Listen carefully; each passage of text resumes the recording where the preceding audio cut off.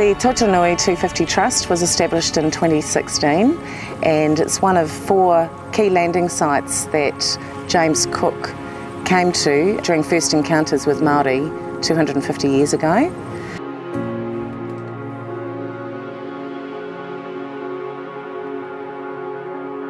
The Trust's aims are to deliver events around the national kaupapa of Tuia 250. Tuia 250 is about bringing people together and sharing our experiences and the kaupapa around that is dual history and shared future. There's a common sort of theme that this is about a, a cook celebration. It isn't. It's very much a, a kaupapa of two cultures coming together and the story that's happened from then and is going to happen into the future.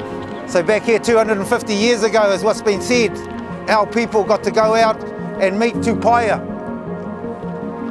He's also on a great big huge ship called the Endeavour. Captain James Cook, well Lieutenant James Cook at that time, he was the captain of the ship. He was bringing a, a, a world of information to our place. Shared Future is about looking at ourselves as a nation and where do we go to from here. Um, our trust has been established now for about four years.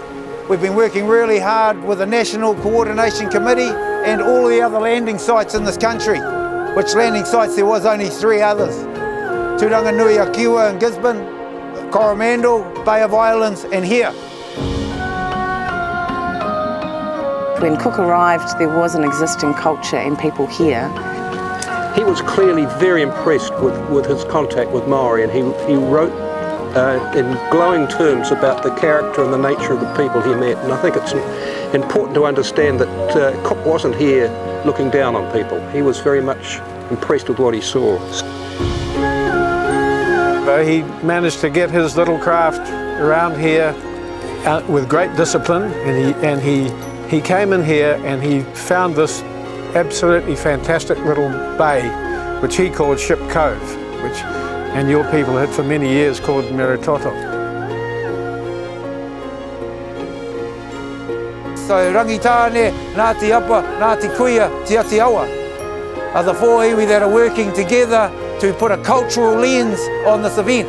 As part of the national Tuia 250, there will be a flotilla of vessels that will be travelling around the four key landing sites, of which we are one. We will be welcoming that flotilla, which will consist of three waka hourua, which are double-hulled ocean-going waka, and two historic ships, the Replica Endeavour and the Spirit of New Zealand. So come the 21st of November, when the waka come out to come, come through here and the endeavour come through here, again, we want it to be a celebration. We want our people to be here. It's about creating an understanding and educating the next generation around what it is to be a nation today.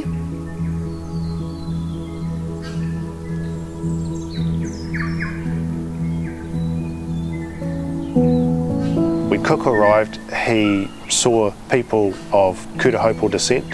There's a number of sources we can sort of go to to get a picture of who those people were. We can use the observations of Cook and his crew. So Cook recorded in his, uh, in his journals who he met. We've got the names of people who were living out there and we've got the whakapapa. What we can do with that information is you can extrapolate out a little bit more and say, well, if these people were living there, most likely they were living with their whānau. It was a place where waves of people came over, stopped there for a little while, then moved on. The living descendants of those people today typically call themselves Ngāti Kuia, Rangitane or Ngāti So Meretoto or Ship's Cove, the name Meretoto means the, the blooded the blooded Meri, which uh, that probably indicates that something's gone on there. Ship's Cove, renamed Ship's Cove or given the name Ship's Cove later by Cook and of course in the history of New Zealand pretty significant. I think of, I think in total Cook spent 130 days in Ship's Cove, so it was a, um, he had obviously recognised the qualities of the bay in the same way that Māori had recognised the qualities of the bay. The voyage was funded by the British government as a voyage of, of uh, scientific discovery. He brought with him uh, some scientists and some artists.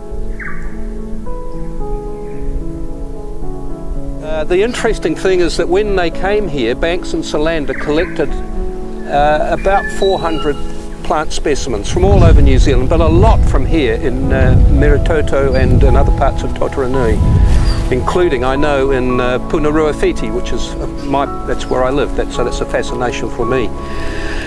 When they returned to England with the plants they had collected from New Zealand and Australia, uh, the number of plants known in the world increased by a quarter.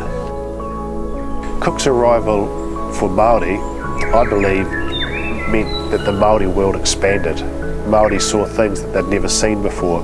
The swiftness with which Māori were able to use the new things that Cook introduced really goes to show you how adaptable Māori were.